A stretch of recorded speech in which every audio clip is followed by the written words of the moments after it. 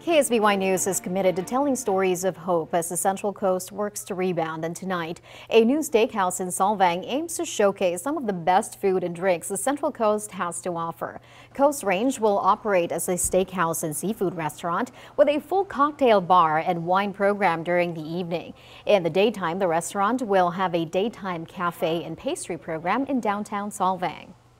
The dream team is is has come together really, you know, and it's been something for a long time that we've all kind of wanted to do. So with Lincoln and uh, Rajat Parr, Anthony and Hillary, you know, this dream has kind of all been talked about for five or six years.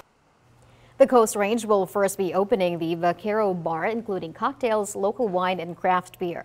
A food menu will also be available for outdoor dining when the bar opens in mid-February. The other two parts of the restaurant, including the steakhouse and cafe, will open later in the spring.